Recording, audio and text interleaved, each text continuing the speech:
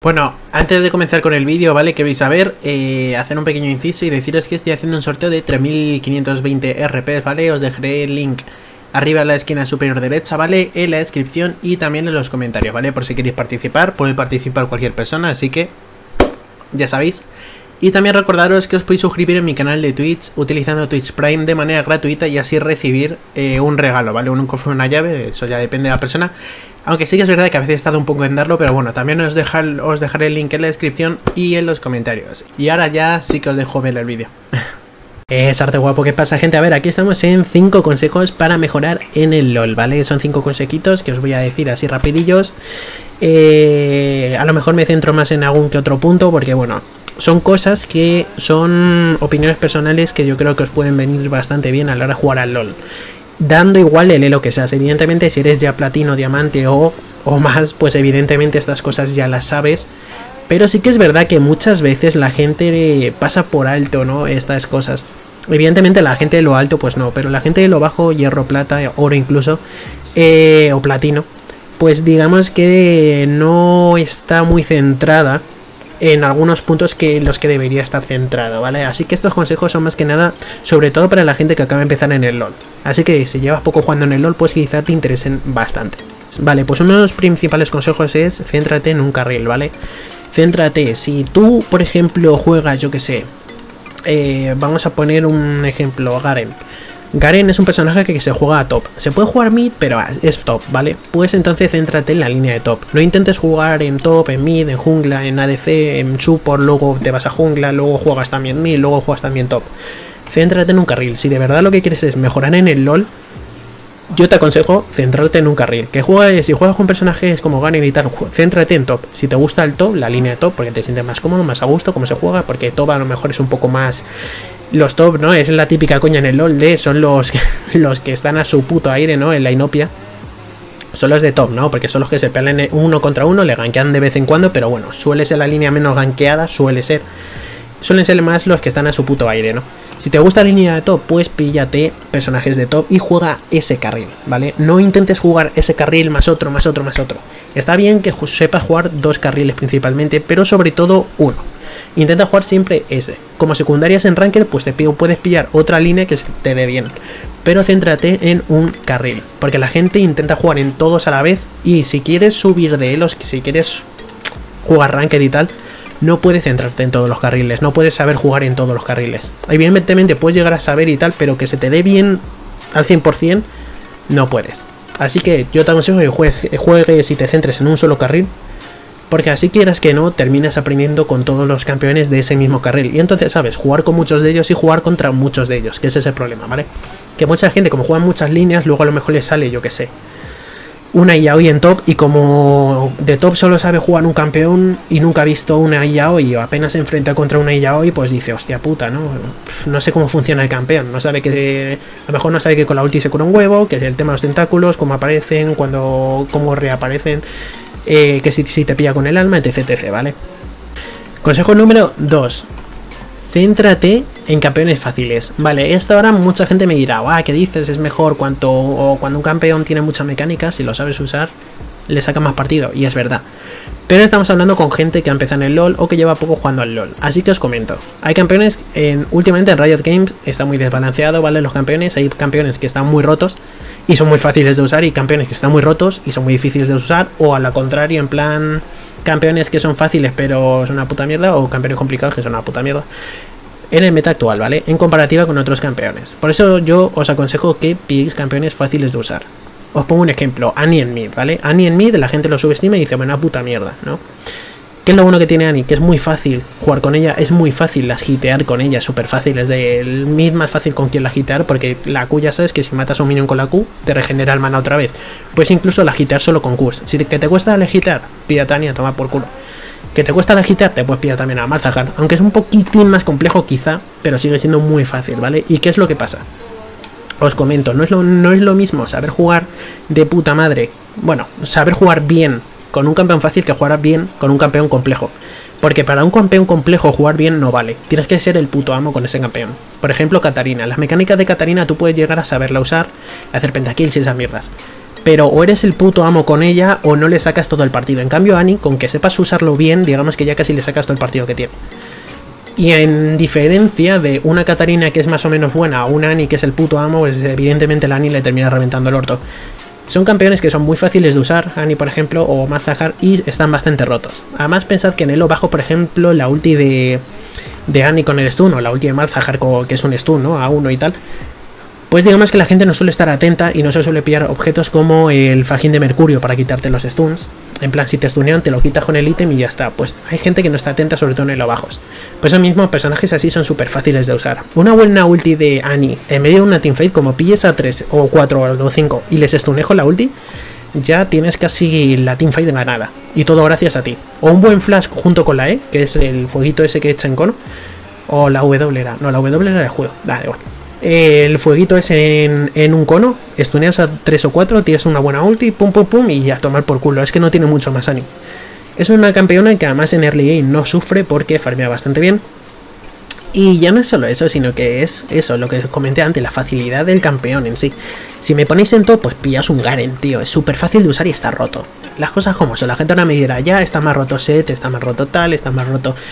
Garen es Garen, ¿vale? Garen es muy fácil de usar y está muy roto. Es como en jungla a lo mejor si me hiciese un Warwick. Es fácil de usar y está roto en comparación con otros muchos junglas. Maestro Yi es otra opción, es muy fácil carrilear con él y está muy roto. Y es lo que os dije, ¿vale? Como la gente en el bajo pues como que está un poco a su aire. Sí, claro, si le stuneas o tiene mucho CC contra él, pues a lo mejor le puede llegar a joder. Le jode mucho el tema de los stun, no aguanta mucho, pero quita demasiado. Digamos que si farmeas bien y no mueres y tal, al final terminas haciéndote una máquina de matar incluso sin darte cuenta. Te haces una doble y dices, uy, ¿de dónde ha salido esta doble? Porque sí. Pues lo mismo pasa en ADC, pillate campeones fáciles como una ASE o tal, o un support fácil. Y entonces aprendes a usarlos muy bien a esos campeones. Y como son fáciles, pues la digamos que te es más fácil, ¿no? Carrilar partidas o jugar mejor. Y lo que os dije, ¿vale? Ni más ni menos. Campeones fáciles y que están rotos en meta actual. Y a tomar por culo, tíos. Os lo aconsejo. Vale, junto con los anteriores puntos, ahora viene el tercero, ¿vale? Que es el 3, céntrate en uno o dos campeones, ¿vale? A poder ser a lo mejor en la, de la misma línea, el mismo carril. Ya os dije que jugar en el mismo carril es lobo mejor. Centraros en un carril o como mucho en dos, pero sobre todo en uno porque es tu, tu carril principal, ¿no? Primordial te centras en él y también pillas personajes fáciles hasta que los aprendes a usar de puta madre. Entonces le sacas todo el partido a un campeón fácil que es fácil sacarle partido, como tal. Hacerte el puto amo es fácil. Pues también otro consejo es pillaros al menos uno o dos campeones. Por ejemplo, yo que sé, Mid, como dijimos antes, Annie, te aprendes a usar muy bien a Annie y a lo mejor a otra pegue que sea fácil como Malzahar, ¿no? O como Diana, por ejemplo que aunque sea melee, sea cuerpo a cuerpo, es fácil de usar. O Fizz o Casadin. Son campeones muy fáciles de usar, que no requieren mecánicas. Pero Annie, por ejemplo, es que, la, es la más fácil de mid, yo creo. Ahora sí que se me ocurra, yo creo, la más fácil de mid. Pues por ejemplo, Annie, ¿vale? Pues entonces os centréis en Annie a full y aprendéis a usarla de puta madre. En plan laica, putos pros. ¿Vale? En plan no te pesa ni. Y os aconsejo usar a uno o dos campeones, tres como mucho, dependiendo de la situación, porque Annie a lo mejor es mala contra X campeones, pero a lo mejor te toca un campeón enemigo y dices, vale, pues me pillo a este otro porque le hace counter. Eso está bien, por eso mismo os digo que es mejor no centrarse solo en uno, sino centrarse en dos o tres, pero solo en esos. ¿Por qué os digo esto? Porque me ha pasado a mí incluso, yo soy mi support, por ejemplo, y cuando yo me acostumbro a jugar mucho con un Nautilus, cuando cambio a lo mejor a una Yumi, porque a lo mejor en mi equipo aliado renta más porque hay un maestro G y demás, o y puede hacer buena sinergia, ¿no? Junto con. Y porque Yumi está rota, la hija de puta. ¿Qué pasa? Que cuando juego mucho con Nautilus y paso a Yumi, como las mecánicas de Yumi son un poco diferentes, aunque vale, es, un ejemplo un poco simple y tonto porque es que Yumi es muy fácil, pero se nota, ¿no? El, jugar con un support que es agresivo, de te pilla mucho CC y tal, a jugar con alguien que es más de ir de aliado en aliado, curando y esas mierdas y tirando misiles, pues como que se nota un poco la diferencia. En los bajos se nota más, ¿vale? Por eso os digo que aprendéis a usar uno o dos campeones, o tres como mucho, pero tampoco centréis solo, solo en uno. Pero sí centraos en esos dos o tres, y centraos solo en esos. Mm, intentad que sean campeones un poco diferentes, ¿no? no que los tres campeones no sean Sivasu porque no sean Leona, Blitzcrank y Nautilus, que son los tres típicos tanques con mucho CC. Pillas en todo caso el típico curandero que pone escudos, como Nami, Soraka, Yumi, eh, yo que sé, o Yana, por ejemplo, es muy fácil de usar, incluso Sona. Luego, yo que sé, que queréis luego también centraros en eso. Eh, gente que ponga escudos y cure, personajes a lo mejor que tanqueen y tengan mucho CC, como Ceres, Blitz y demás, o incluso otros support que sean muy agresivos como Brand, Belko o Zira, ¿no? que son campeones con CC y tal, pero sobre todo es para hacer daño. El típico support AP para hacer daño. Pero bueno, yo os aconsejo en todo caso centraros, pillad uno de cada, por así decirlo, y haceros main con ese campeón, no usarlos a full. Evidentemente que te lo counterean, que te lo banean, ¿qué quiere, decir? Que te hacen ban a ese campeón, pues te pillas otro similar, ¿no? Porque más o menos sabe jugar, pero yo os diría que os centraseis en dos o tres campeones, ¿vale? Lo mismo pasa en top y en mid. Annie, Malza y yo que sé, y Fifth o Casadin, yo que sé. Por ejemplo, y centrados son en esos tres. Yo creo que es lo mejor y sobre todo para gente que acaba de empezar en el LOL o que lleve poco tiempo jugando en el LOL. Consejo número 4. Utiliza la herramienta de práctica, ¿vale? Y digamos que así puedes llegar a practicar el tema de combos. Combos, eh, calentar un poco también, más que nada, pero bueno, sobre todo el tema de combos. Porque imaginaos que os pilláis a, yo que sé, mm, Garen, ¿no? Imaginaos. Con la herramienta prácticas podéis eh, aprender a agitar bien las líneas. Mmm, podéis incluso llegar a analizar el funcionamiento de las oleadas de minions, que tengo vídeos en mi canal. O incluso podéis aprenderos algún combo que sois, por ejemplo, Riven. Riven os gusta mucho y queréis aprender con Riven. Pues entonces, si os cogéis a Riven, centraos en Riven, como os dije en los puntos anteriores, y aprendete todos sus combos. Riven es una campeona con la que puedes llegar a a cancelar animaciones de habilidades. Está el típico, sobre todo con la E. En plan, E Stun y lo haces en un segundo, a lo mejor haces las tres habilidades a la vez. ¿Vale? Y lo mismo pasa con a lo mejor el tema de la ulti, ¿no? La E más tema de ulti y tal, y digamos que activas todo a la vez, ¿no? O cosas por el estilo. Se suele hacer con la E, pero bueno, tiene muchas más cancelaciones de animaciones, es una campeona. Yo he puesto a Riven porque es el personaje perfecto, porque estaba pensando en otros campeones y es el campeón perfecto porque es habilidades de continuo y puedes estar cancelando habilidades de continuo, animaciones de las habilidades de continuo.